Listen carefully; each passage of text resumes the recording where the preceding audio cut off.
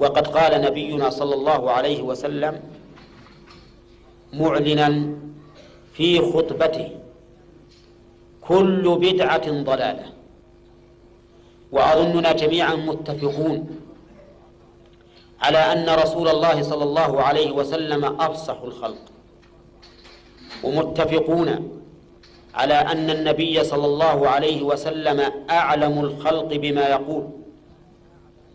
ومتفقون على أن رسول الله صلى الله عليه وسلم أنصح الخلق للخلق.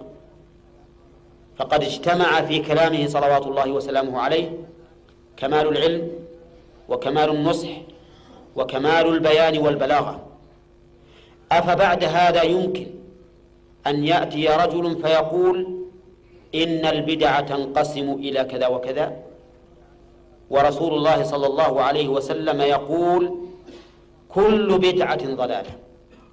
والله لو قال هذه الكلمة رجل ممن يعظمونه لكانوا يحملونها مكتوبة بالنور على رؤوسهم يقول فلان كل بدعة ضلالة.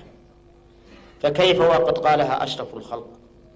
أعلم الخلق أنصح الخلق أفصح الخلق.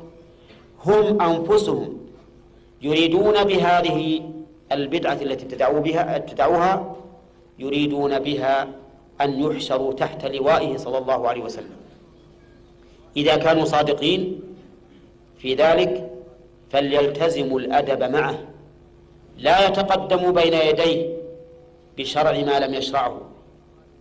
إن أي بدعة يحدثها الإنسان يتقرب بها إلى الله معناها الطعن في بيان رسول الله صلى الله عليه وسلم.